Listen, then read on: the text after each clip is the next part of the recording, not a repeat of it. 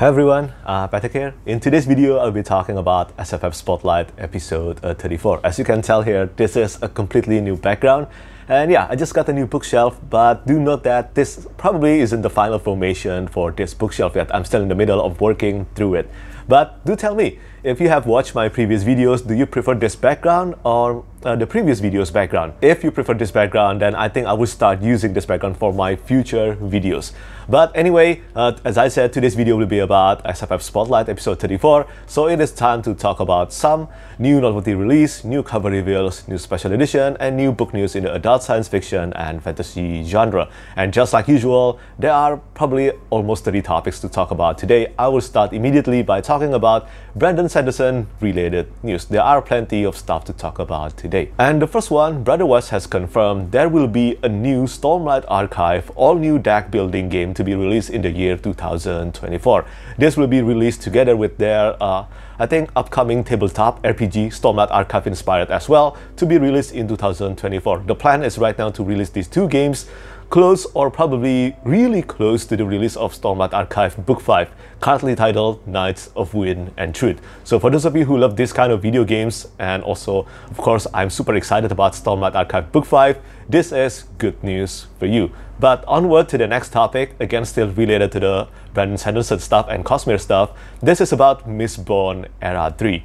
Now for Mistborn, the title for Era 3 has been confirmed by Brandon Sanderson. It is still a possibility, not uh, totally finalized yet, but this one is a bit of a spoiler. If you haven't read The Lost Metal yet, I will not be the bearer of spoilers here because I think the title it can be considered as a big spoilers in the Cosmere, just in case. So if you really want to know what the title is, I will leave the link to the interview in the description down below. Sanderson talked about this casually in his interview with 17th Shard. But moving on to the final Brandon Sanderson related news, this is about uh, the cover reveals to Yumi and the Nightmare Painter, and also something to do with the entire UK edition for Brandon Sanderson's Cosmere books. So I think some of you might know about this if you are a Brandon Sanderson fans. Uh, the US and the UK cover art for Yumi and the Nightmare Painter, which is the Third Secret Project novel, has been revealed and it looks absolutely beautiful in my opinion. Uh, Tran Nguyen, the cover artist, is an incredible artist and I think she did such a fantastic job on this cover art. Now, the thing is, for the UK cover art, it seems like Brandon Sanderson has mentioned there is a plan to do a complete overhaul for all of his Cosmere books for the UK edition. Now, this can be a bit of a problem for those of you who collect Brandon Sanderson's Cosmere books in the UK edition because uh, I think for those of you who don't know, the UK edition, all of them are illustrated by Sam Green and all of them features a same similar design. This is still okay for Yumi and the Nightmare Painter because as you can see here, the cover art still features a white background and I assume uh, the spine will feature the same design just like usual. But I don't know how it will go for the rest of Brandon Sanderson's Cosmere books. Sanderson talked about this on Reddit and as you can as you can probably guess, uh, no one is happy about this. So I don't know what Brandon Sanderson and Gollancz will be planning for the future, but I think Sanderson has to think really deeply about this because readers really care about uniformity, and that's one of the best things about the UK edition for the Cosmere books by Sanderson. So that's about it for Brandon Sanderson's Cosmere news. For the next one, we will talk about Ryan Cahill's new novella. This is for The Ice, the third novella in the Bound and the Broken series, and this one it finally has a release date. Uh, the release date for the third novella will be 23rd of September 2023 and I believe Ryan Cahill right now is working on the fourth novel of the Bound and the Broken uh, series of Empires and Dust which will be the penultimate volume in the Bound and the Broken series. I am pretty excited about this. The Bound and the Broken is currently one of my favorite ongoing series right now and if you haven't read The Bound and the Broken yet, you still have some time to catch up before the release of uh, The Ice. Maybe because Of War and Ruin, one of my favorite books of the year, is still, well, it is still one of the biggest books that I have ever read. It is a thick one. But again, it is worth it. Very much worth it. And I look forward to reading The Ice uh, next month. And moving on to the next topic, Ryan Cahill is not the only one releasing a new book. Apparently, Andrzej Sapkowski, the author behind the Witcher series, has also confirmed in an interview that he's currently writing a new Witcher book. Now, I do not know what the story will be for this one, but it seems like the author has mentioned that this one will not be, well, it not it will not focus on Geralt. Or maybe it might focus on Geralt, but it definitely will not take place after the story of uh, Lady of the Lake, which is the final book chronologically in the Witcher series. I still haven't read the series past Sword of Destiny. Yes, I haven't read Blood of Elves yet, but I don't know. I think there are many many of you who are a fan of the series, and maybe this will be an exciting news uh, for you. I do absolutely love the game, especially The Witcher 3 Wild Hunt, but I must say, honestly speaking, uh, the books so far have been a bit disappointing to me. Fingers crossed when I read Blood of Elves, it will be it will rejuvenate my interest to continue with reading the series. And onward to the next topic, this is still related to The Witcher. So this one is about the TV show adaptation. Some of you might know about this, but if you don't, well, the season 3, uh, the season 3 TV show adaptation of The Witcher has a significant drop in viewership. This is I do not think this is a surprise. We all know that Henry Cavill will be leaving, leaving the show after season 3, and that will definitely influence the viewership in the season 3 of The Witcher. I still haven't watched uh, season 3. But however, the producer Tomek Baginski, he said that changes in the TV show needed to be done because American viewers apparently cannot appreciate complex and well long story, which is absolutely insane. You just have to focus on adapting the books as faithful as possible. If you need to make changes, do not stray away from it as too far. And more importantly, focus on better writing. I know this might come as a surprise but maybe maybe the show just sucked, especially season 3. That could totally be a possibility because if what Tomek Baginski is saying is true, well, show like House of the Dragons, Game of Thrones, or Succession will not ever succeed. But look at how successful and how critically acclaimed they are. So yeah, this is just insane. I thought about making a Salty Petrik videos about this, but I also cannot because, as I said, I haven't finished reading the books yet. So after every drama happening in the TV show adaptation of The Witcher, it seems like uh, season 4 will suffer even more if it's actually being produced. I know that many viewers have already considered uh, season 3 as the final season of the TV show. But moving on to a more positive topic, let's talk about the season 2 of Jujutsu Kaisen.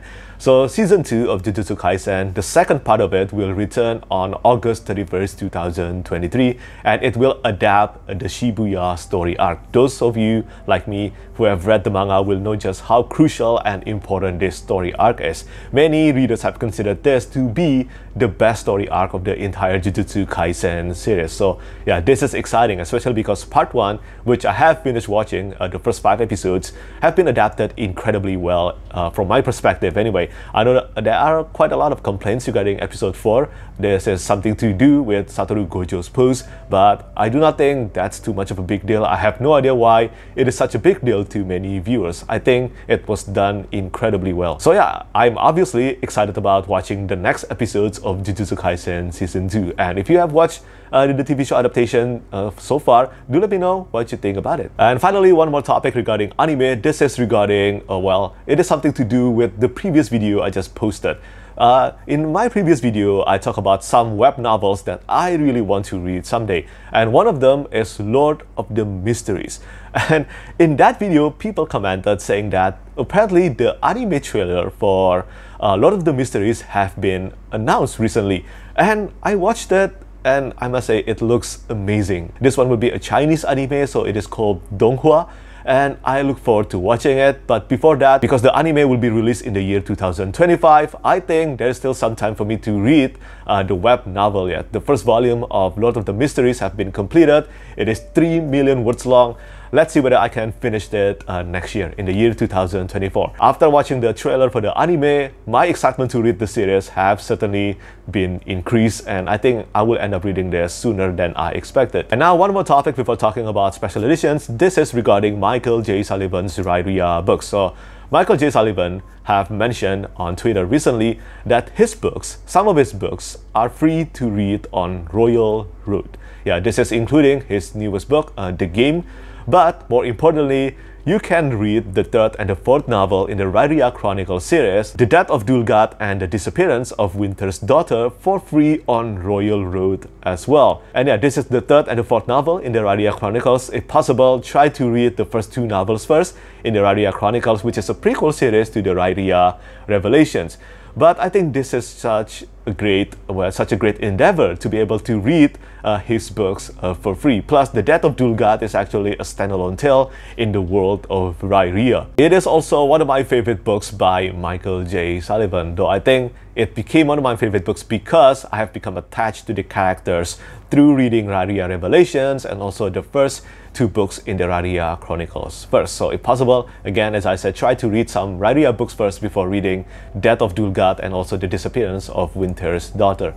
But I will leave the link uh, to the announcement in the description down below. Make sure to check it out if you have been interested in trying out some of Michael J. Sullivan's books. So that's a wrap on news. Now let's talk about some special editions and I will start from talking about Kickstarter campaigns. And today I have two Kickstarter campaigns to mention. The first one will be for Fate of the Wizardoms by Jeffrey Kohanek. This one will be done into omnibus and it will covers the entire series, the first book up to the sixth book, being completed into omnibus. And just like usual, it will have a new cover art, new interior artworks, new map, and more. It will be done in a more high quality uh, production value compared to the paperback edition. And for those of you who are a fan of Fate of the Wizardoms, do know that the Omnibus edition is coming and the Kickstarter campaign will launch at the end of the month. And the last Kickstarter campaign I'm going to mention today will be once again a reminder that Legends and Lattes Deluxe Edition by Travis Baldree published by Wraithmarked Creative the Kickstarter campaign is currently ongoing. There's less than two weeks before the Kickstarter campaign ends, and so far, everything I've seen about the production value on this edition is absolutely incredible. Justin Gerard has always been one of my favorite artists, and Sean King did a fantastic job on designing this beautiful edition. I'm still so surprised that Wraithmarked actually managed to nail Justin Gerard into doing this special edition because, as far as I know, we don't see a lot of artworks uh, from Justin Gerard in many fantasy books, which is a shame because I think he is one of the best artists out there. So yeah, for those of you who are a fan of Legends and Lattes and you want to get yourself a copy of the deluxe edition, this is your last chance before the Kickstarter campaign ends. So that's it for the topic of Kickstarter campaigns. Now let's talk about some special editions. And of course, just like uh, pretty much the majority of SFF Spotlight, I will start by talking about the Broken Binding new announcements. And the first one, this is still related to Legends and Lattes. The Broken Binding has announced their special edition for bookshops and Bonedust, which is the prequel novel to Legends and Lattes. So for those of you who manage to snag a copy of Legends and Lattes, the Broken Binding edition, you will be able to get bookshops and Bonedust Broken Binding edition easier and I think it looks pretty great. I still haven't read this book yet, even though I own the advanced reading copy for it for quite a while now. But yeah, uh, the advanced reading copy that I got, the format is still let's just say that it doesn't look good and I hope that I can manage to snag a greatly formatted e-arc before the release of bookshops and Bonedust. If not, then I will just have to read this one after the publication date. And moving on to the next one, this is a big one from the Broken Binding because this is one of their best special editions so far. Maybe even the best in the subscription part because this one Broken Binding has announced the books that will be chosen for the month of October until the month of December, and it is the Powder Mage Trilogy by Brian McClellan. The special edition for the Powder Mage Trilogy will feature 10 new artworks, all of them done by Rene Eichner, and I'm telling you, these artworks, all of them looks amazing.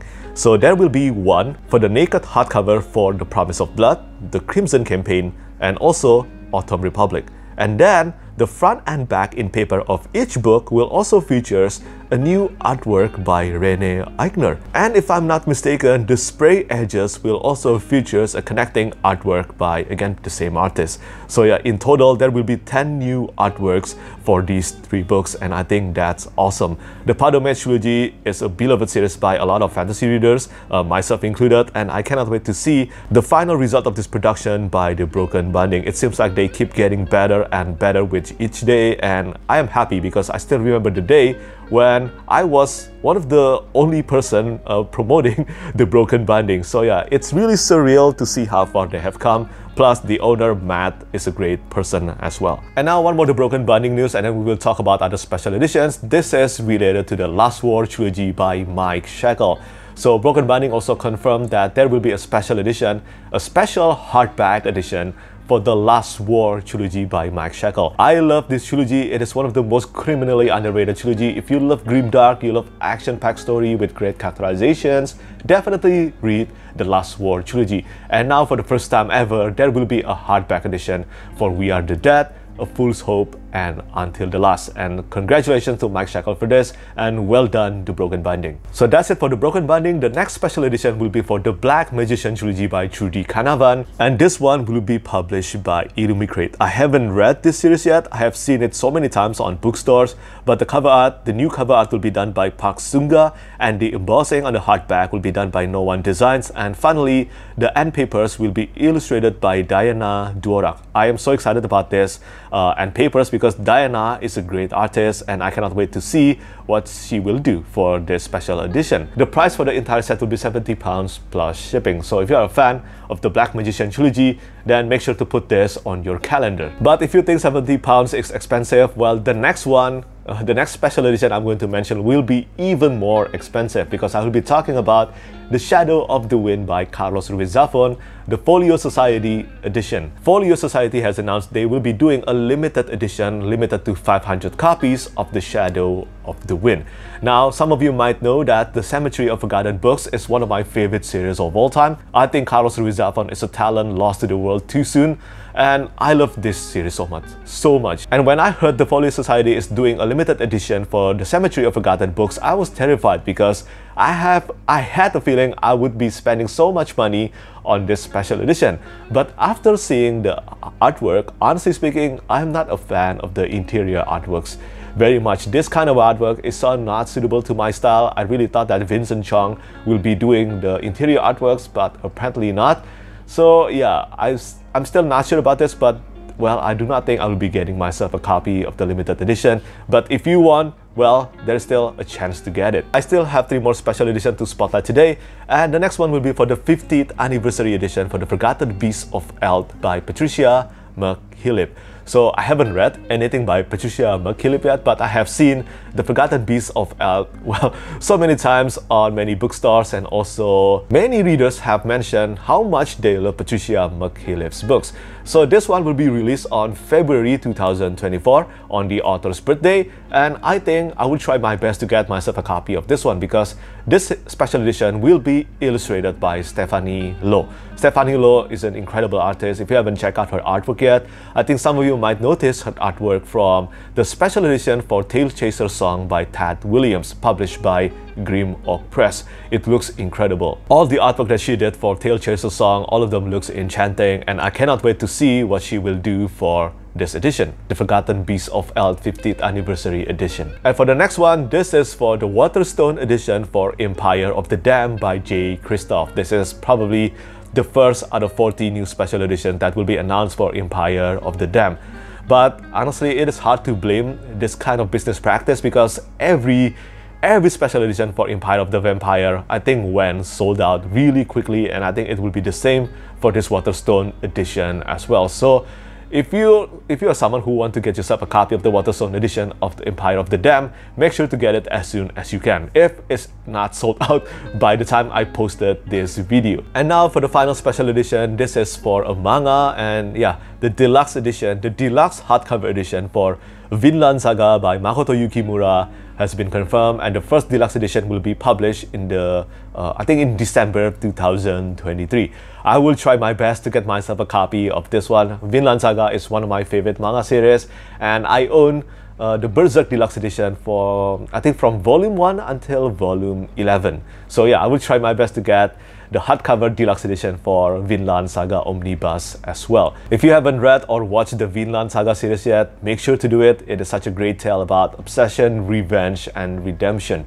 Such a great series. Whether you decide to read or watch uh, the manga or the anime, you cannot go wrong. Especially the anime for season 2, which covers the slave arc. The music, the voice acting, everything really elevated the quality of the storytelling. Cannot recommend it highly enough. But if you want to stick with the manga and you want to get yourself, well, the most beautiful edition, then I think this upcoming deluxe edition will be it. And now let's move on to the next section of SFF Spotlight. It's time to talk about some cover reveals. And the first one I want to spotlight today will be for To Gaze Upon Wicked Gods by Molly X Chang. This will will be a debut novel published in the year 2024 and it will be an Asian-inspired fantasy.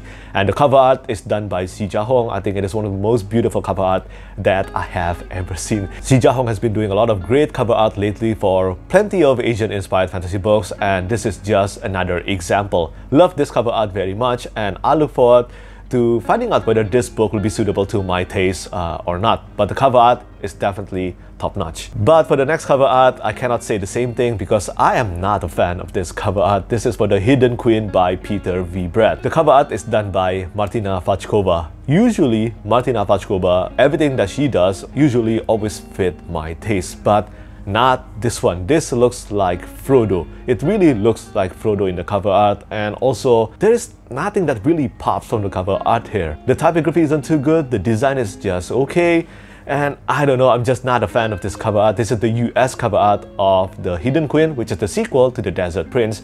The cover art to The Desert Prince is done by Tommy Arnold. So again, that's a cover change, a change in cover artist. And I am not a fan of this change because I think some of you might actually notice Martina Vachkova's uh, cover artwork. She did the cover art of Justice of Kings and also the sequel, The Tyranny of Fate. Both of them looks amazing. But this one is not suitable to my taste, but do let me know whether you like this cover art or not. I think some of you probably know from my Goodreads and also some of my videos that I am really not a fan of the Desert Prince, so I do not think I will be continuing with the series anyway. But as far as cover art goes, this one is not it uh, for me as well. But I need to mention that the fault doesn't lie solely in Martina Vachkova. Martina Vachkova, at the end of the day, still has to follow the art director so I think the result of the cover art has something to do with the art direction. And the next cover reveal will be for Gog Magog and Ludluda by Jeff Noon and Steve Beard. I haven't read anything by these authors yet, but the cover reveals this looks incredible. The cover art is done by Ian McQue. As you can see here, the cover art of the first book and the second book, they connect with each other, the front cover art, and I assume the spine will be as well. And this one has been pitched to be suitable to those who love Gormenghast and Perdido Street Station. Honestly, I haven't read these two books yet, but the premise sounds too good and bizarre to miss. I will try to read this one and keep my fingers crossed that this will be suitable for me and this one will be published by Angry Robots. And the last cover reveal of today's SFF Spotlight will be for The Keeper's Origin Omnibus by J.A. Andrews.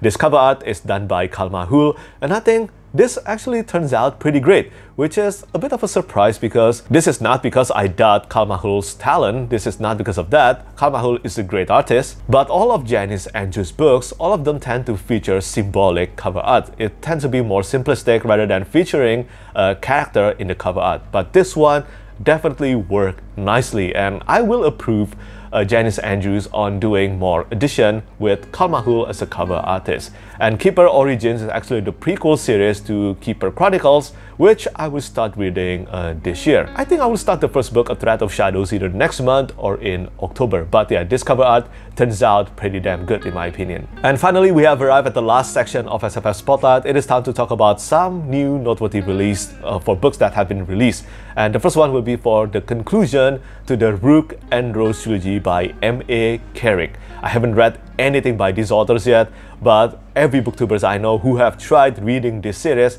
all of them loved it and I think that's just a sign that I will have to try to read this trilogy. And not only that, there is another concluding volume being released already and this is for The Pattern of the World by J.T. Greathouse. The first book in the trilogy, The Hand of the Sun King, is one of my favorite debut and I think it is so underrated. I think it deserves so much more love and readership.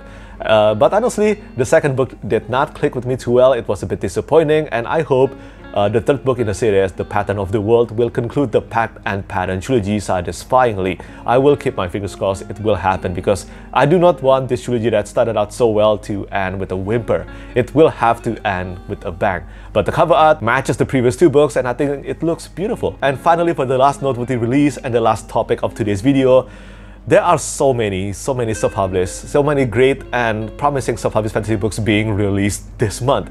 And it is too much to mention in one video, like Runelite, a Card Mage, and many more. Instead, I will just link Rob J. Hayes' list of self-published fantasy books being released this month in the description down below. Make sure to check it out. Seriously, there are many great and promising self-published and indie books being released uh, this month, especially on August 1st. So that's it. That's a wrap on SFF Spotlight episode 34. As you can probably tell, there are a lot of news being spotlighted today. I hope I have succeeded in delivering this information as effectively and efficiently as possible. But anyway, as always, do let me know what you think about all the news that I spotlighted today. And of course, uh, as I mentioned in the introduction of this video, let me know which background do you prefer, this background with this bookshelf or my usual videos background. As always, thank you so much for watching and thank you for your support. Bye bye. Lastly, I want to say thank you so much once again to all my patrons who keep on supporting me.